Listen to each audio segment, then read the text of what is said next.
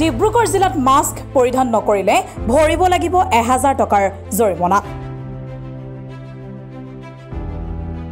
বৰ্তমান পৰিস্থিতিত ডিব্ৰুগড় জিলাত কভিড নাইণ্টিন সংক্ৰমণ বৃদ্ধি পোৱাৰ পৰিপ্ৰেক্ষিতত লগতে এই সংক্ৰমণ প্ৰতিৰোধৰ পদক্ষেপ হিচাপে আৰু জনসাধাৰণে কভিড নাইণ্টিন প্ৰতিৰোধ নিয়মাৱলীসমূহ পালন কৰাৰ হেতু ডিব্ৰুগড় জিলাৰ উপায়ুক্ত তথা অধ্যক্ষ ডিব্ৰুগড় জিলা দুৰ্যোগ ব্যৱস্থাপনা প্ৰাধিকৰণ দুৰ্যোগ ব্যৱস্থাপনা আইন দুহেজাৰ পাঁচৰ অধীনত জিলাখনৰ প্ৰত্যেক ৰাজহ চক্ৰৰ অন্তৰ্গত একোখনকৈ টাস্ক ফ'ৰ্চ গঠন কৰি দিছে।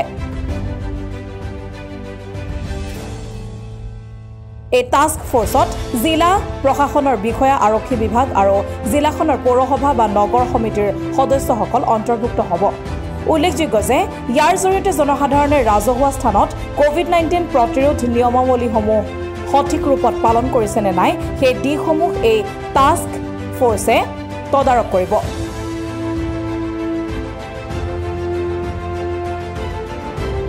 লগতে মাস্ক পৰিধান নকৰা ব্যক্তিৰ বিৰুদ্ধে এহেজাৰ টকাৰ জৰিমনা বিহাৰ।